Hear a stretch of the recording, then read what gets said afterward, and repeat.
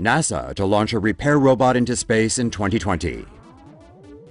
This is the Restore L. It's a special kind of robot, NASA's very own space repair bot, in fact.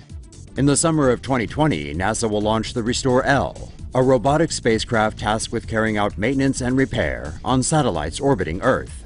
NASA says Restore L will navigate Earth's orbit using a combination of advanced hardware and algorithms at speeds of over 16,000 miles per hour.